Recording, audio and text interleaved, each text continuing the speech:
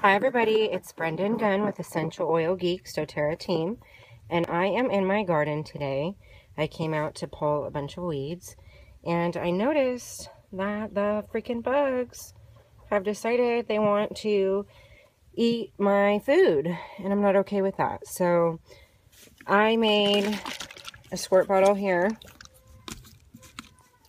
that is just filled with water and about 20 to 25 drops of this peppermint essential oil.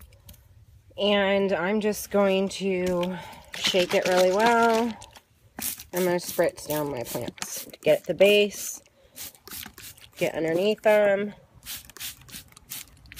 and spray everything down because the bugs do not like the peppermint. And the peppermint has cleansing properties. So I'm going to get rid of the bugs and I'm going to help clean up the soil.